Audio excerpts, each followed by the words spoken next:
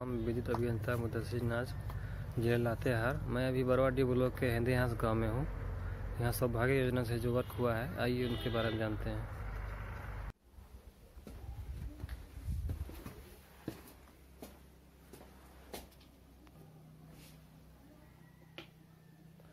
क्या नाम हुआ आपका?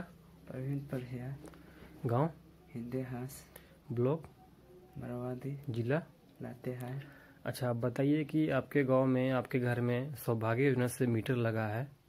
आप क्या क्या लाभ उठा रहे हैं? इसमें मोबाइल चार्ज करते हैं और रात में लाइन आने से पढ़ाई भी कर लेते हैं इससे और खेती बाड़ी करते हैं तो लोग खुश हैं, लोग हम हम लोग भी खुश हैं।